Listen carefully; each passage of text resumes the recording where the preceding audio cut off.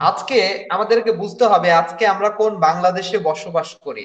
আজকে আমরা কেমন বাংলাদেশ গড়ার লক্ষ্যে বাংলাদেশকে স্বাধীন করা হয়েছিল সেই বঙ্গবন্ধু শেখ মুজিবুর রহমান সাহেবের ডাকে। আজকে আমরা কোন বাংলাদেশে বসবাস করি? যেই বাংলাদেশে মানুষের পা কেটে মিছিল করা হয়, আমরা সেই বাংলাদেশে বসবাস করি। যেই বাংলাদেশে একজন ধর্ষক ধর্ষণ করে, তার কোনো ধরনের বিচার হয় না। আমরা সেই বাংলাদেশে বসবাস করি যেই বাংলাদেশে একজন মানুষ মৃত্যুবরণ করে, সে যেই হোক না কেন তার কবরের উপরে যে আমরা লাঠিপিটা করি। আলহামদুলিল্লাহ ভালো আছি। সর্বসাকুল্যে আজকে লাইভে এসেছি আপনার মাধ্যমে। ভালো লাগছে। তবে একটু শোকাহত অবস্থা আছে। আচ্ছা অবায়দুল ভাই, আমি প্রথমে যে বিষয়টা আপনার কাছে জানতে চাচ্ছি আজকে আমাদের মোহাম্মদ নাসিম সাহ যখন মৃত্যুবরণ করে, তারপরে কিন্তু সোশ্যাল মিডিয়া এটা নিয়ে ব্যাপকভাবে ভাইরাল হয়ে যায় বিষয়টি এবং কিছু কিছু সোশ্যাল মিডিয়া এটাকে নিয়ে ট্রল করছে, মজা করছে, আনন্দ করছে। কেন? এটি কেন? আপনি এই বিষয়টি কীভাবে দেখছেন? আসলে বিষয়টি আমি বলতে চাই, তবে তার আগে কয়েকটা কথা আমি বলে রাখতে চাই। আপনি কথা বলেছেন যে সাবেক স্বাস্থ্যমন্ত্রী নাসিম সাহেব যখন মৃত্যুবরণ করেছেন তখন ফেসবুক বা বিভিন্ন মাধ্যমে সেখানে দেখা যাচ্ছে অনেকেই আনন্দ উল্লাস করেছে। এটার কিছু যৌক্তিকতাও আছে। অনেকে এই বিষয়টির যৌক্তিকতা তুলে ধরার চেষ্টা করেছেন। কিন্তু আমি বলতে চাই যে, আমরা যেহেতু আমরা অনেক ধরনের সমালোচনা করে যাচ্ছি, কিন্তু সমালোচনার কয়েকটা পন্থা আমাদের অবলম্বন করা উচিত। সেটা অবশ্যই যৌক্তিক হতে হবে। আজকে দেখুন নাসিম সাহেব মৃত্যুবরণ করেছে। এই মৃত্যুতে অনেকেই মানে খুব আনন্দিত হয়েছে। আবার যারা বিশেষ করে আওয়ামী লীগকে পছন্দ করে, নাসিম সাহেবকে পছন্দ করে, তারা কিন্তু অনেক শোক প্রকাশ করেছে। আমি ব্যক্তিগতভাবে নাসিম সাহেব মৃত্যুতে আমি নিজে শোকাহত হয়েছি। আজকে এই কারণে আমি ওনার শোক আহত হয়েছি, যার কারণে একটি মোমবাতি আমি জ্বালিয়েছি। আপনারা দেখতে পাচ্ছেন ফেসবুক লাইভে তো আমি একটি কথা বলতে চাই যে তিনি যে কর্মকাণ্ড করেছে, সে কর্মকাণ্ডতে থাকতে পারে, ভুল ত্রুটি থাকতে পারে। একজন মানুষ তার ভুল ত্রুটি থাকতে পারে। মানুষ মাত্রই ভুল, ভুলের ঊর্ধ্বে কিন্তু আর কিছু না। তো এই যে সামাজিক যোগাযোগ মাধ্যম, তাকে নিয়ে অনেক ধরনের কথা বলছে, অনেক ধরনের ট্রোল করছে, অনেক ধরনের, আহ, কটুক্তিও করছে যে তিনি কি করেছেন, এই সমস্ত বিষয় নিয়ে। তবে এই বিষয়গুলো এভাবে না দেখে যদি স্বাভাবিকভাবে দেখা হতো তিনি মৃত্যুবরণ করেছে, তার আত্মার মাত্রাত কামনা করত, তাহলে সে বিষয়গুলো আমার মনে হয় যে ভালো হতো। কিন্তু আমরা তো আসলে তেমন বাংলাদেশে বসবাস করি না, যার কারণে আমাদের এ ধরনের আচরণই পেতে হচ্ছে। আচ্ছা ওবায়দুল ভাই, আপনার একটা ফেসবুক পোস্ট আমরা দেখেছি, সেখানে কিন্তু ব্যাপকভাবে সেটা নিয়ে ট্রল হচ্ছে বা সমালোচনা হচ্ছে। মোহাম্মদ নাসিম করোনা ভাইরাসে আক্রান্ত হয়ে মারা গেছে এবং তার যে শহীদি মর্যাদা সেটার জন্য এরকম এই ধরনের একটা পোস্ট করেছেন আপনি। তো আসলে তিনি তো করোনায় আক্রান্ত হয়নি, যেটা বিভিন্ন ট্রল হচ্ছে, ট্রলের মাধ্যমে আমরা জানতে পারি। তো এই বিষয়টি আসলে আপনি কি খোলাসা করবেন যে আপনি এই শহীদি ভাষাটা কেন এখানে প্রয়োগ করলেন? আমি এর একটি যৌক্তিকতা আছে। অনেকে আমার এই পোস্টের বিরূপ প্রতিক্রিয়া দেখাইছে, আবার অনেকে এর যৌক্তিকতাও খুঁজে পেয়েছে। আমি পোস্টটি দিয়েছিলাম মূলত, করোনা যুদ্ধের শহীদ সাবেক স্বাস্থ্যমন্ত্রীর মৃত্যুতে আমরা গভীরভাবে শোকাহত। আমাদের একটি কথা বুঝতে হবে যে তিনি শহীদ। শহীদ মর্যাদা এভাবে দিতে হবে, কারণ হচ্ছে তিনি করোনা ভাইরাসে আক্রান্ত হয়েছিলেন। এবং তিনি আক্রান্ত হওয়ার পরে বেশ কিছুদিন ধরে তিনি বাংলাদেশ স্পেশালাইজড হসপিটালে ভর্তি অবস্থায় ছিলেন। এখন তার করোনা নেগেটিভ এসেছে। কিন্তু তিনি কিন্তু করোনাকে হার মানিয়েছেন। এটা আমাদের স্বীকার করতে হবে। তিনি কিন্তু করোনাকে হার মানিয়েছেন। তো যে মানুষটা মনে করেন যে আমি বাংলাদেশ যুদ্ধ করলাম। বাংলাদেশ স্বাধীন করার লক্ষ্যে আমি যুদ্ধ করলাম এবং বাংলাদেশ স্বাধীন হয়ে গেছে। বাংলাদেশ স্বাধীন হয়ে গেছে। কিন্তু আমার বাংলাদেশ স্বাধীন করতে যেয়ে আমার সাপোজ একটি বুকে গুলি লেগেছে কিন্তু আমি সেই সময় মৃত্যুবরণ করি নাই। আমি সেই সময় মৃত্যুবরণ করি নাই আমি মৃত্যুবরণ তখন করেছি যখন বাংলাদেশ স্বাধীন হয়ে গেছে এবং আমার ইনজুরি ছিল। দেখা যাচ্ছে আমি ভুগতে ভুগতে আমি মৃত্যুবরণ করেছি। তো সেই মানুষটাকে কি শহীদের মর্যাদা দিতে হবে না? আমরা যদি এই মানুষটাকে মর্যাদা না দিই তাহলে আমার মনে হয় যে জাতির সাথে একটা বিশ্বাসঘাতকতা করা হবে এবং এরকম একজন মহান নেতার সঙ্গে বিশ্বাসঘাতকতা করা হবে। আচ্ছা তাই আমি ওনাকে আপনি বিষয়টি একদম যুক্তি সহকারে এখানে পরিষ্কার করেছেন। যারা এটা নিয়ে ট্রল করছে বা বিভিন্ন ধরনের সমালোচনা করছে আমার মনে হয় যে আপনার কথাটি শোনার পরে তারা বুঝতে পারবে যে আপনি কোন অর্থে কীভাবে এটা বলেছেন।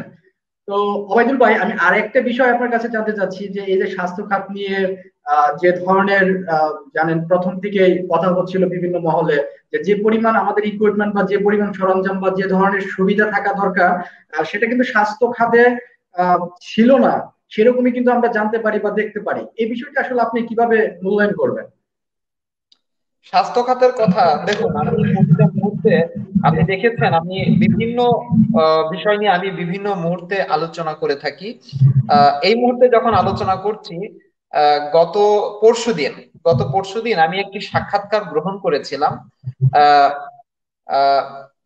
মোহাম্মদপুর থানা আওয়ামী লীগের সাংগঠনিক সম্পাদক আবু তো ওনার হচ্ছে একটি সাক্ষাৎকার গ্রহণ করেছে সেখানে আমি প্রশ্ন করেছিলাম যে স্বাস্থ্য খাতের কি অবস্থা? তো তিনি আমার প্রশ্নের উত্তর দিয়েছিলেন যে যে মানুষটি যা করবে তার তো সেই ফল পেতে হবে। প্রশ্ন কিন্তু আমারও সেই একই জায়গায়, ঠিক আছে? তো আপনি যেহেতু আমাকে প্রশ্ন করেন স্বাস্থ্য খাতের কথা, আমি একটি কথা বলতে চাই, সাদাকে সাদা বলতে জানি এবং কালোকে আমি কালো বলতে জানি। আমি সবসময় এই রকম কথাই বলে থাকি।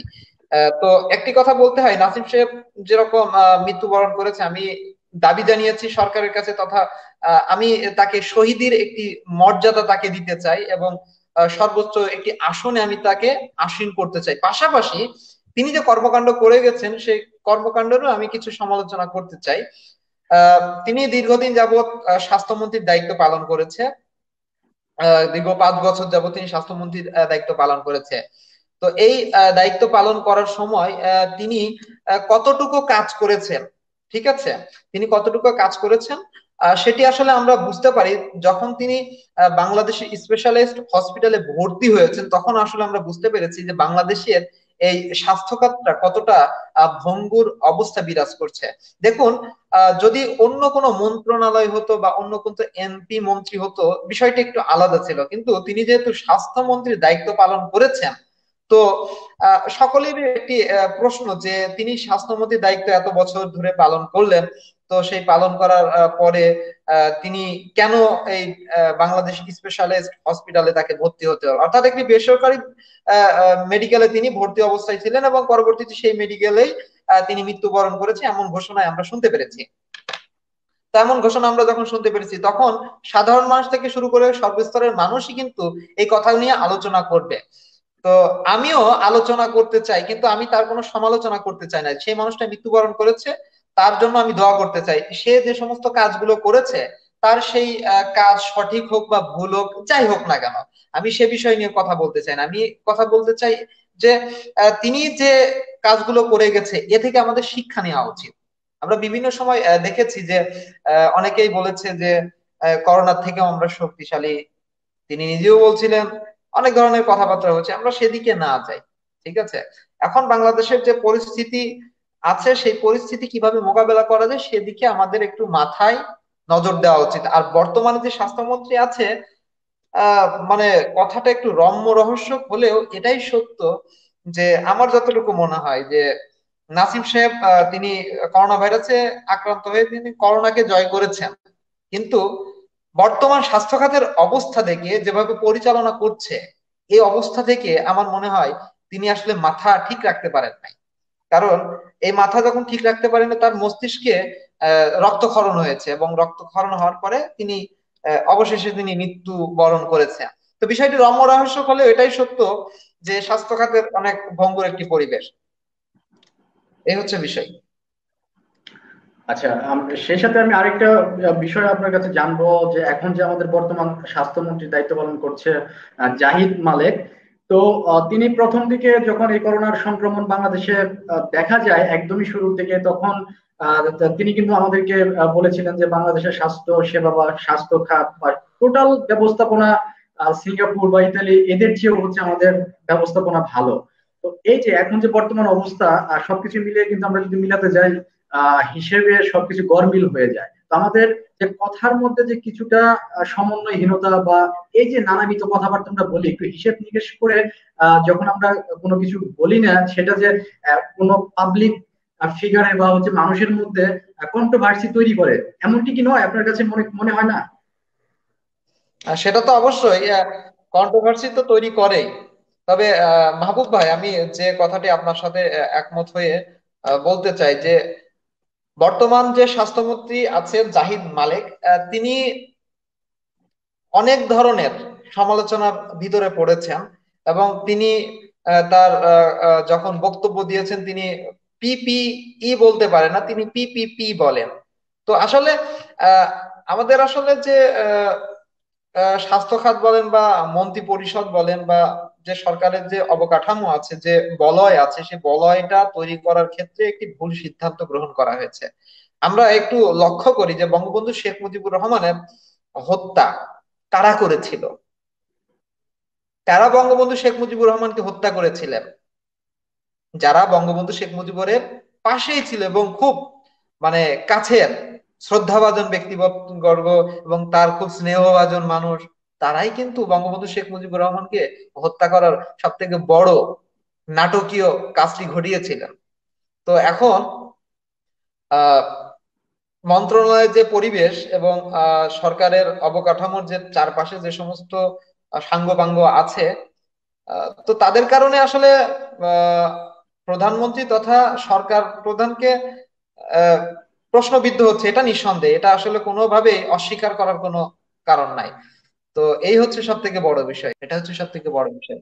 তাই একটি কথা বলতে চাই পরিশেষে, যে আমরা যেন আমাদের কাজগুলো হয় সমাজ কল্যাণের জন্য, মানবতার জন্য। ঠিক আছে? এটাই হচ্ছে সব থেকে বড় বিষয়।